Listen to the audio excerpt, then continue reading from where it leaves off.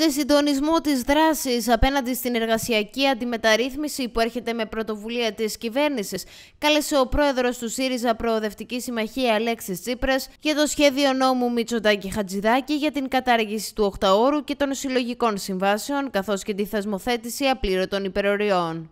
Σήμερα σας κάλεσα για να λάβουμε θέσεις μάχης για να ενώσουμε δυνάμεις. Κανείς δεν περισσεύει, προκειμένου να υπερασπιστούμε το οκτάωρο, να υπερασπιστούμε τις συλλογικές συμβάσεις, να υπερασπιστούμε το δικαίωμα στην καταγραφή και την πληρωμή των υπεροριών, να υπερασπιστούμε το δικαίωμα στην κανονικότητα στην εργασία, να υπερασπιστούμε τις ζωές μας, τόνισε μεταξύ άλλων ο κύριος Τσίπρας. Ενοχλημένη η Νέα Δημοκρατία μετά την εκδήλωση του ΣΥΡΙΖΑ για το νομοσχέδιο Μητσοτάκη Χατζηδάκη, κατηγορεί τον Αλέξη Τσίπρα ότι κατασκευάζει πάλι ψεύτικους εχθρούς για να κάνει ξανά ψεύτικους πολέμους. Η αντιπολίτευση κάνει μία αντιπολίτευση γεμάτη fake news και θέλω να πω ότι πραγματικά αισθάνομαι πολύ μεγάλο προβληματισμό όταν βλέπω ένα κόμμα το οποίο κυβέρνησε 4,5 χρόνια ε, τον τόπο να συμπεριφέρεται σαν τρόλ του διαδικτύου. Καταρχάς πρέπει να πούμε ότι νομοσχέδιο αυτή τη στιγμή δεν υπάρχει. Υπάρχουν πληροφορίες.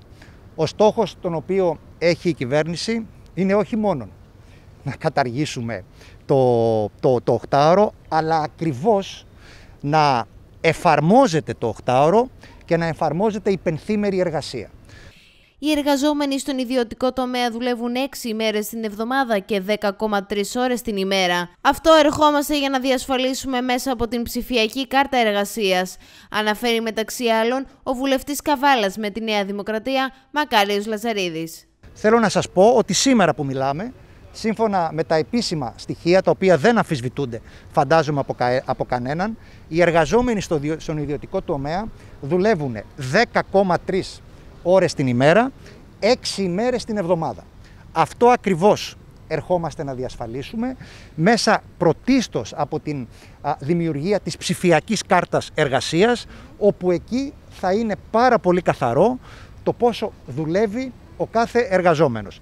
Είναι μια πρωτοπορία για τη χώρα μας. Η ελληνική κυβέρνηση, ο Πρωθυπουργός, ο Κυριάκος Μητσοτάκης πρωτοπορούν και σε αυτό, όπως το κάναμε κατά τη διάρκεια της διακυβέρνησης της χώρας από, την, από τον Σαμαρά και τον Βενιζέλο με την Εργάνη όπου η Εργάνη μας βοήθησε σημαντικά όλους αυτούς τους 13 μήνες ακριβώς για να γνωρίζουμε το, τα δεδομένα στις εργασιακές σχέσεις. Κατά συνέπεια, κλείνω την ερώτησή σας. Η κυβέρνηση διασφαλίζει στον απόλυτο βαθμό την οκτάωρη εργασία, διασφαλίζει στον απόλυτο βαθμό την πενθήμερη ε, εργασία και από εκεί και πέρα όλα τα άλλα τα οποία ε, λέει ε, ο ΣΥΡΙΖΑ, ο οποίος βρίσκεται εκτός τόπου και εκτός χρόνου, εντάσσονται μέσα σε μια λογική fake news που κάθε φορά ε, καταρρύπτονται από την πραγματικότητα η οποία είναι σκληρή και για τον ίδιο τον πρώην, τον τέος πρωθυπουργό, σημερινό αρχηγό της αξιωματικής αντιπολίτευσης, τον Αλέξη Τσίπρα.